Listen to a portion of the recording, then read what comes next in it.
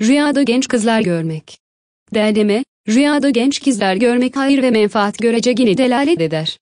Genç ve güzel bir kız görmek, onunla konuşmak, gülüşmek, dünyada saadete, büyük rizka, mala ve paraya delalet eder. Genç olmakla beraber çirkin ve asik suretli kız görmek, bir söylentiye göre haram mala, diğer bir söylentiye göre de kedire ve zarar etmeye alamettir. Bir genç kızı öptüğü günü görmek, dünyaya baklanmaya ve sevgiye, genç kızın kendisini öptüğü günü görmek, dünyanın rüya sahibine yararlı olacağına isarettir. Bir genç kızı tutmak istediği halde tutamadığını görmek, zengin olmak istediği halde mümkün olamayacağına, genç kızın kendisine yakin geldiği halde, ona iltifat etmediğini görmek, dünyanın ona verdiği nimetlere karşı ilgisiz kaldığına delildir. Genellikle güzel olan genç kız hayır, mutluluk, ferah ve sevinç, para, mal. Çirkin olanı ise, haram mal, keder, zarar ve kim bile yorumlanır.